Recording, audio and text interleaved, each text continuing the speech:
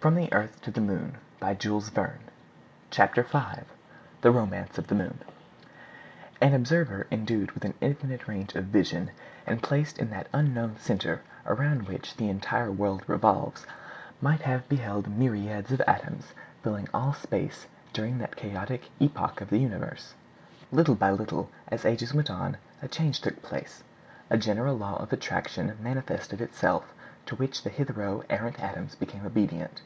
These atoms, combined together chemically according to their affinities, form themselves into molecules, and compose those nebulous masses with which the depths of the heavens are strewed. These masses became immediately endued with a rotary motion around their own central point. This centre, formed of indefinite molecules, began to revolve around its own axis during its gradual condensation. Then, following the immutable laws of mechanics, in proportion as its bulk diminished by condensation, its rotary motion became accelerated, and these two effects continuing, the result was the formation of one principal star, the centre of the nebulous mass. By attentively watching, the observer would then have perceived the other molecules of the mass, following the example of this central star, become likewise condensed by gradual accelerated rotation, and gravitating round it in the shape of innumerable stars. Thus was formed the nebulae, of which astronomers have reckoned up nearly five thousand.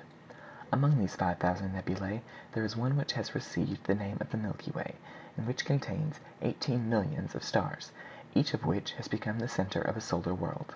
If the observer had then specially directed his attention to one of the more humble and less brilliant of these stellar bodies, a star of the fourth class, that which is arrogantly called the sun, all the phenomena to which the formation of the universe is to be ascribed would have been successively fulfilled before his eyes; in fact, he would have perceived this sun, and yet in the gaseous state, and composed of moving molecules, revolving round its axis in order to accomplish its work of concentration.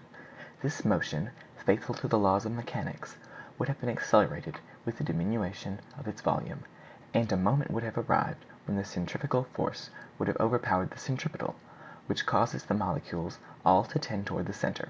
Another phenomenon would now have passed before the observer's eye, and the molecules situated on the plane of the equator, escaping like a stone from a sling of which the cord had suddenly snapped, would have formed around the sun sundry concentric rings resembling that of Saturn.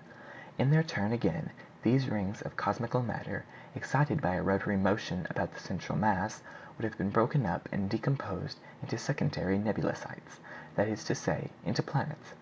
Similarly, he would have observed these planets throw off one or more rings each, which became the origin of the secondary bodies which we call satellites. Thus, then, advancing from atom to molecule, from molecule to nebulous mass, from that to principal star, from star to sun, from sun to planet, and hence to satellite, we have the whole series of transformations undergone by the heavenly bodies during the first days of the world. Now, of those attendant bodies which the sun maintains in their elliptical orbits by the great law of gravitation, some few in turn possess satellites. Uranus has eight, Saturn eight, Jupiter four, Neptune possibly three, and the earth one. This last, one of the least important of the entire solar system, we call the moon, and it is she whom the daring genius of the Americans profess their intention of conquering. The moon, by her comparative proximity, and the constantly varying appearances produced by her several phases, has always occupied a considerable share of the attention of the inhabitants of the earth. From the time of Thales of Miletus in the fifth century B.C., down to that of Copernicus in the fifteenth, and Tycho Brahe in the sixteenth century A.D., observations have been from time to time carried on with more or less correctness, until in the present day the altitudes of the lunar mountains have been determined with exactitude.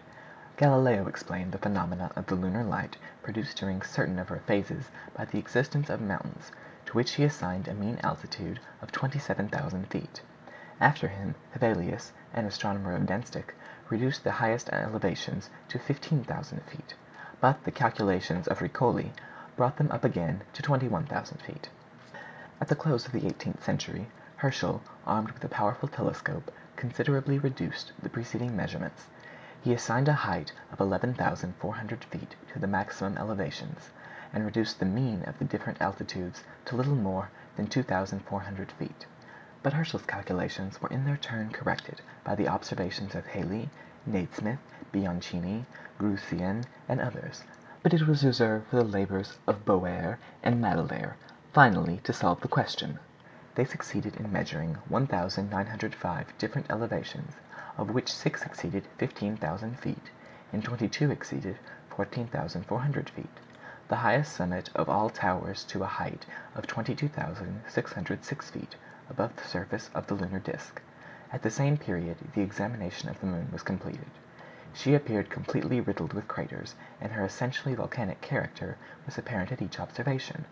By the absence of refraction in the rays of the planets occulted by her, we conclude that she is absolutely devoid of an atmosphere. The absence of air entails the absence of water. It became therefore manifest that Selenites, to support life under such conditions, must possess a special organization of their own, must differ remarkably from the inhabitants of the earth.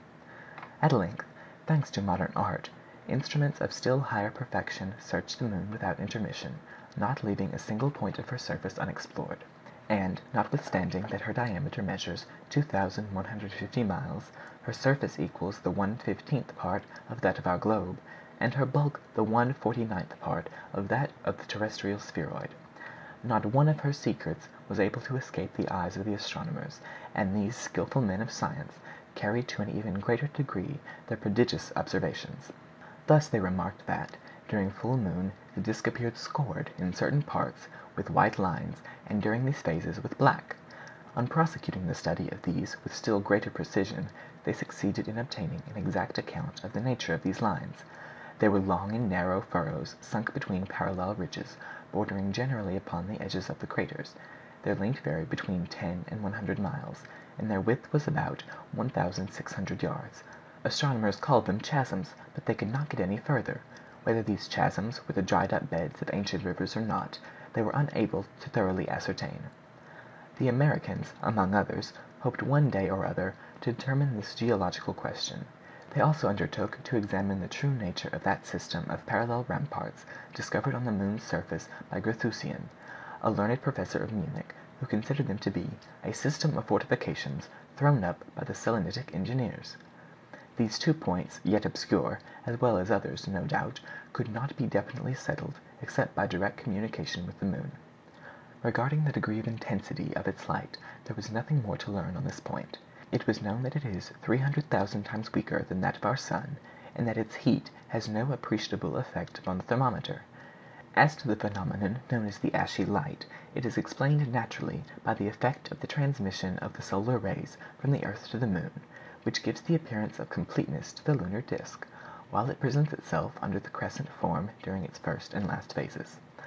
Such was the state of knowledge acquired regarding the earth's satellite, which the Gun Club undertook to perfect in all its aspects—cosmographic, geological, political, and moral.